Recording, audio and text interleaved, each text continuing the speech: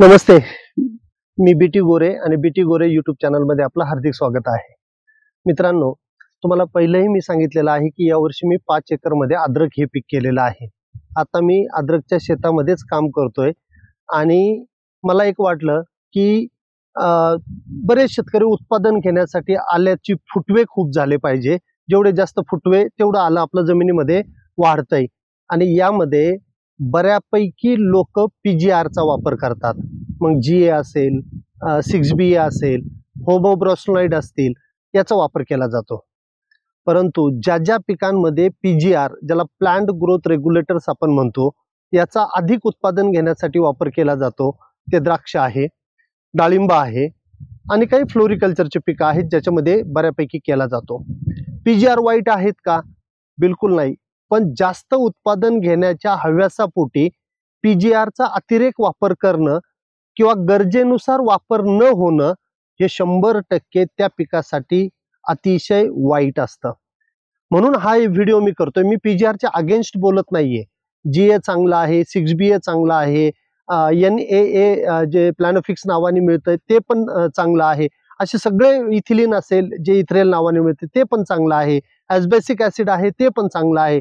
हे मेजर पाच हार्मोन झाडामध्ये काम करत राहतात. मग आता ज्यावेळेस अद्रक ह्या पिकाबद्दल मी थोडासा अभ्यास केला आणि अं, अद्रक लावण्याचं मी फायनल केलं त्यावेळेस मी खूप शेतकऱ्यांना भेटलो. एका गुंठ्यामध्ये एक टन अद्रक काढणाऱ्या शेतकऱ्याला पण मी भेटलो आणि ज्या शेतकऱ्यांनी दोन दोन तीन तीन वर्ष अद्रक केलं पण त्यांना सक्सेस मिळालं नाही त्याही शेतकऱ्यांना मी भेटलो.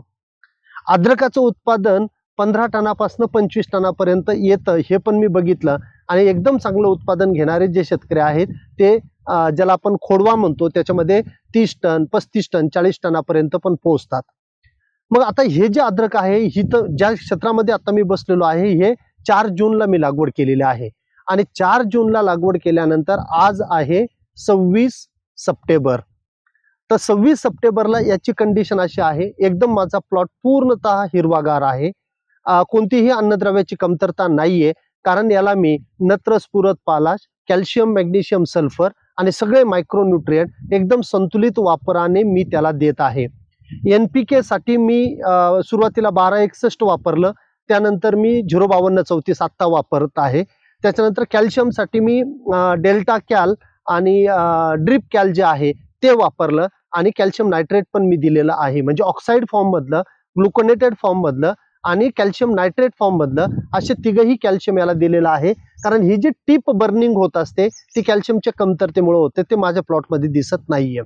बोरॉन मी जे वीस टक्केवालं बोरॉन येतं त्याचा वापर केलेला आहे. आणि मॅग्नेशियम मी सेपरेट पण दिलेला आहे. आणि magnesium sulphur zinc ferrous copper आणि मँगेनीज हे मी ॲव्हेना न्यूट्रिमिकच्या माध्यमातून कंटिन्युअस दर आठवड्याला दहा लिटर या प्लॉटला देत आहे. त्यामुळं काळोखी माझी अतिशय चांगली आहे. पण आजचा व्हिडिओ मी जो बनवतोय हा प्रॉपर न्यूट्रिशन जर असेल तर तुम्हाला पीजीआर ची गरज नाहीये हे सांगण्यासाठी. कारण ज्यावेळेस तुम्ही पीजीआर वापरता त्यावेळेस तुम्ही सेल मल्टिप्लिकेशन सेल इलॉंगेशन म्हणजे जी पेशी आहे पेशींचं विभाजन आणि पेशींची लांबी वाढवण्यासाठी पीजीआरचा वापर करता. आणि जेव्हा तुम्ही पीजीआरचा वापर करता त्यावेळेस रोग येण्याची शक्यता बऱ्यापैकी जास्त असते. कारण हे अद्रक तुमचं जर सातशे ग्रॅम आठशे ग्रॅम एक किलो पर्यंत होणार असेल तेच जर तुम्ही बाराशे ग्रॅम पर्यंत जर करत असाल तर शंभर टक्के ते जास्त ताणलं जात आहे आणि त्याच्यामध्ये रोग येण्याची पॉसिबिलिटी संभावना ही जास्त बनत असते.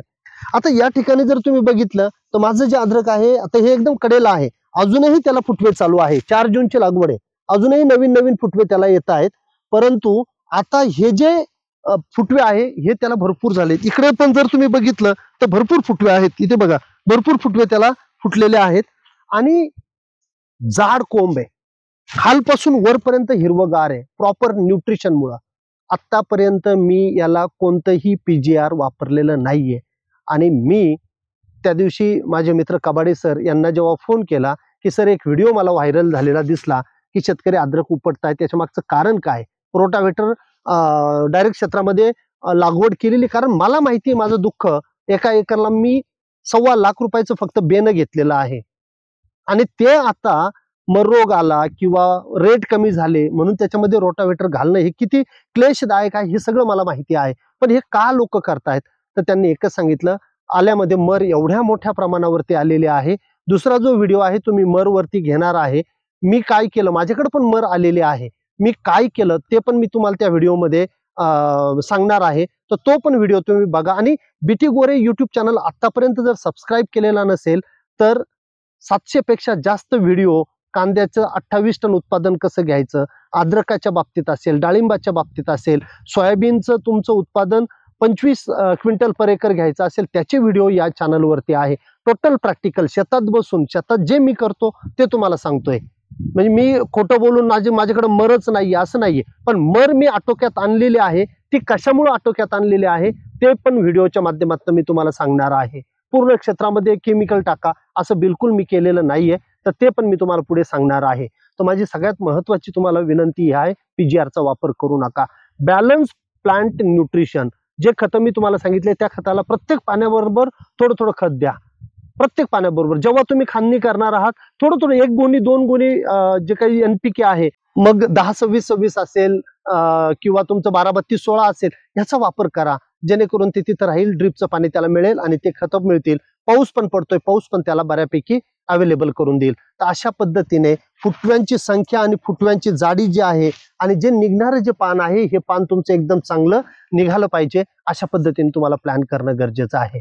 तर माझी विनंती आहे पी जी आरचा वापर करू नका गरज नाहीये. जे तुम्हाला एका एकरामध्ये पंधरा ते पंचवीस टन उत्पादन घ्यायचं असेल तर गरज नाहीये. बॅलन्स प्लांट न्यूट्रिशन करा. सुरुवातीला शेणखत तुम्ही टाकलेलं असेल तुमचं रान तापलेलं असेल तुम्ही साडेचार फुटाची सरी काढून तिथं लागवड केलेली असेल भर तुम्ही एकदम चांगल्या पद्धतीने देत असाल पाणी एकदम चांगल्या पद्धतीने मोजून मापून देत असाल तर शंभर टक्के मी सांगतो तुम्हाला की तुम्हाला एकदम चांगले रिझल्ट आल्यामध्ये मिळणार आहे.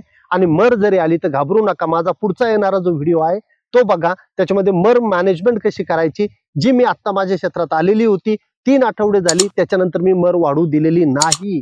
हे पण मी तुम्हाला पुढच्या व्हिडिओमध्ये सांगणार आहे. हा जर व्हिडिओ आवडला असेल तर लाईक करा, लोकांना पाठवा शेअर करा आणि सबस्क्राईब करा आपला हा बेटी गोरे यूट्यूब चॅनल व्हिडिओ कसा वाटला हे पण तुम्हाला कमेंटमध्ये लिहायचं आहे. थँक्यू सो मच भेटूया पुढच्या मोर रोगाच्या व्हिडिओमध्ये.